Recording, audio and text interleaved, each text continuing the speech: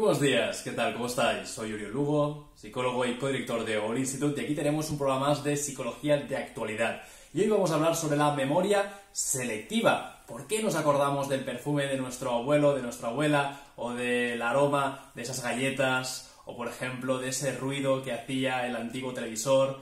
¿Por qué nos acordamos de estos detalles y no de otros? Pues bien, porque la memoria de alguna forma funciona a través de las emociones. Un elemento muy importante para la memoria se ha descubierto recientemente que es las emociones con las que vinculamos cada uno de los episodios de nuestras vidas. Hay distintos tipos de memorias, hay memoria episódica, semántica, procedimental, pero justamente lo que ocurre cuando estamos de alguna manera recuperando recuerdos muy específicos de nuestra mente, de nuestra memoria, es porque hay algo emocionalmente que se está conectando, que estamos asociando. Por ejemplo, vamos paseando por la calle y de repente, pues notamos la fragancia de, alguien que ha pasado pues muy, muy cerca de nosotros y descubrimos que esa fragancia es la misma que utilizaba nuestra madre, nuestro padre, nuestro hermano, nuestra hermana o nuestro abuelo o nuestra abuela. Y de alguna forma empezamos a conectar con esos recuerdos. Básicamente, recordamos muchas más emociones o conectamos con muchos más recuerdos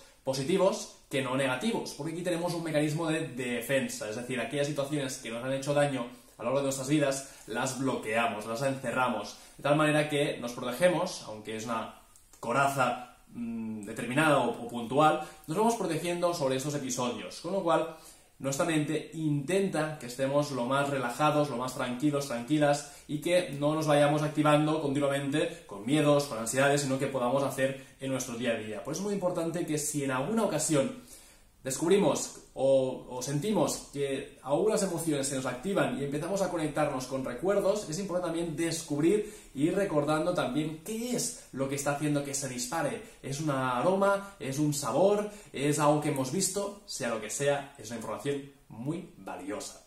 Que tengáis un feliz día.